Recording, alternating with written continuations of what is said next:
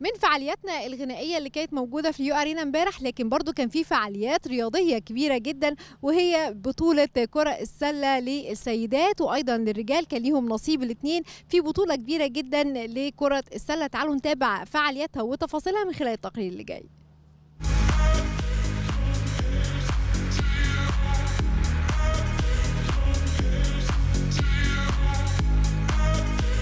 مدينة العالمين الجديدة مش بس بقت الوجهة السياحية المهمة لكن بقت الوجهة الرياضية اللي بتستضيف عدد كبير من المباريات والألعاب الرياضية بمشاركة الاتحادات الرياضية المصرية. وده اللي شفناه من بداية مهرجان العالمين الجديدة ولسه مستمر معانا بمباريات كرة السلة بين فريق الرجال وفريق السيدات التابعين لمنطقة القاهرة لكرة السلة تحت رعاية الاتحاد المصري لكرة السلة ووزارة الشباب والرياضة. 8 فرق للرجال وأربع فرق للسيدات وفي فرقتين من السودان. تعالوا بينا نشوف الأجواء عاملة إزاي والمنافسة بين الشباب والبنات في فعاليات مهرجان العالمين الجديدة. يلا بينا.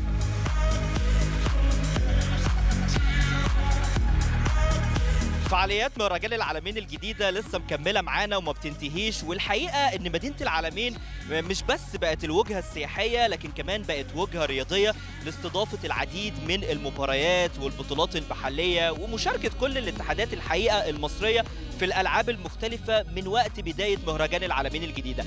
علشان كده إحنا بنتابع معاكم وشايفين قد إيه الألعاب اللي بتستضيف أو الملاعب اللي بتستضيف المباريات اللي موجودة. وإحنا بنتابع دلوقتي المباراة الخاصة بفريق الرجال والسيدات لكرة السلة التابعين لمنطقة القاهرة تحت رعاية وزارة الشباب والرياضة والاتحاد المصري لكرة السلة. عندنا فرق من الرجال وفرق من السيدات وكمان عندنا مشاركة من دولة السودان. خلينا نعرف تفاصيل أكتر من سيادة العميد وائل عبد الحي المدير التنفيذي لمنطقة القاهرة لكرة السلة ويقول لنا أكتر بقى استعداداتهم ووجودهم طبعا في مهرجان العالمين الجديدة برحب بحضرتك وأهلا وسهلا بيك في مدينة العالمين. وقول لي الأول الفكرة جات لكم إزاي إنكم تكونوا موجودين؟ طبعا هو نشاط سنوي ليكم.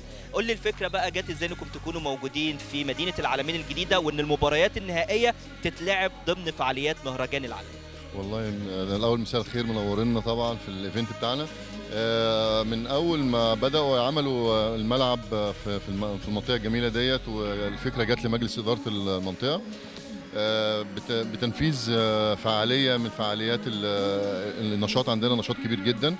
فاخترنا أكبر سن موجود في الفعالية اللي هو الدرجة الأولى رجال وسيدات. وقلنا لازم نعمله في إن شاء الله في في العلمين. وفعلا الفكرة جت أول ما بدأ التنفيذ على طول نفذناها في التاريخ اللي إحنا اتفقنا مع المتحدة ومع Events Plus قبل ما اتكلم بقى عن الفرق المشاركة عايز اعرف بقى انطباعك ورأيك عن الأجواء في مدينة العالمين الجديدة.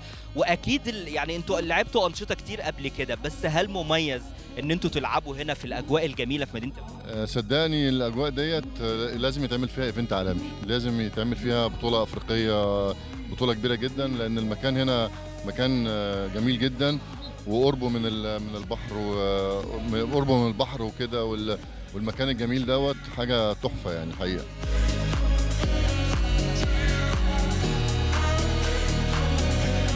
بلعب باسكت مثلا بقالي 10 سنين بس بطلت يعني لظروف الكلية وكده. فالبطولات الصيفية بتبقى فرصة بالنسبة لي إن أنا يعني أعمل اللي أنا كنت بحبه لمدة 10 سنين وكده. وصراحة اللعبة على البحر تحفة يعني يكفي بس منظر البحر بنخرج خسرانين بس تمام إحنا شايفين البحر.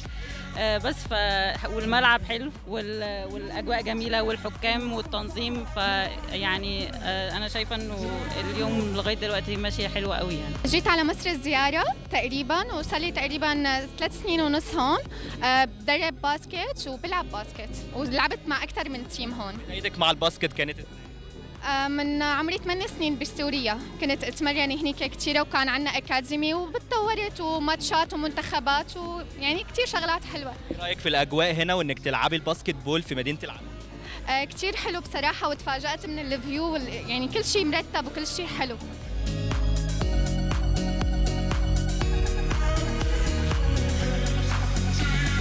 الأجواء ما تتوصفش يعني هو إحنا على البحر بنلعب basket. فدي حاجة بتحصل في أمريكا في ميامي لكن في مصر لا دي حاجة جديدة يعني. فالأجواء لا يعني جميلة والابراج ورانا وإحنا قاعدين نلعب ف يعني من هنا في بحر من هنا في براج فمن كل حتة في مناظر جميلة. مميز عن أي مكان لعبت فيه؟ آه أكيد طبعا أكيد طبعا. أصل أغلب الأماكن بتبقى يا إما صالة مغطاة يا إما ملعب في نادي لكن ده على البحر فده حاجة تانية خالص. الواحد حاسس إن هو في دولة أوروبية يعني وما شاء الله. فده تقدم يعني حاجة والله أنا سوداني وحاسس بالفخر. بجد يعني. هو بصراحة إن أنت تلعب أصلا البحر وراك دي حاجة لوحدها يعني لا مختلفة وحلوة أوي. لما تحبي بقى ترجعي تقولي إيه لاصحابك عن مدينة العالمين لا بصراحة نقول إن إحنا كلنا نروح نلعب تاني عشان هي لذيذة أوي بالذات إن إحنا مع صحابنا كلنا وكده.